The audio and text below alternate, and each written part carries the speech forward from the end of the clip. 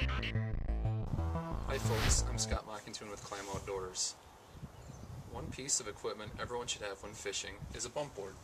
A bump board is a measuring device that helps you square the fish up and get an accurate measurement. There are a few good reasons to use a bump board. The first is to get the most accurate measurement possible.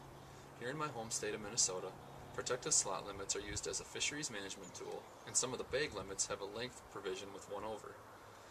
Anglers in possession of fish in the protective slots are subject to fines and the social faux pas of a fish and game violation. Measuring your fish on the same device the conservation officer will be using ensures that there will be no discrepancies.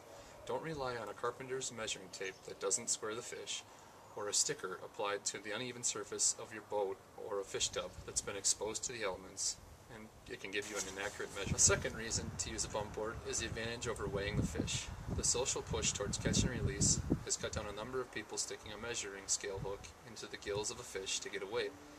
Today, a good length measurement is a reliable way to compare fish size and estimate weight.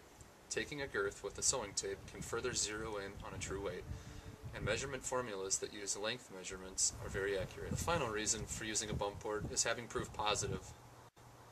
A photo of a fish on a bump board eliminates any doubt. We've all seen photos of fish that seem to defy their stated weights.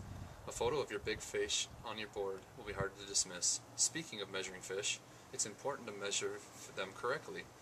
The method favored throughout North America is total length.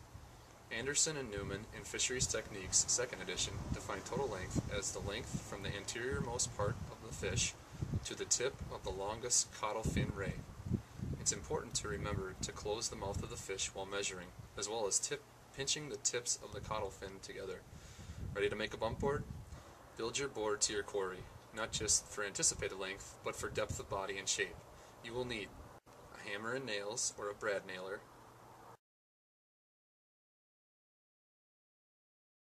shellac and paintbrush, wood router or wood chisels, boards of a size that is up to you, and a measuring device to mount a yardstick or other. Good luck on the ice, and may all your fish measure up.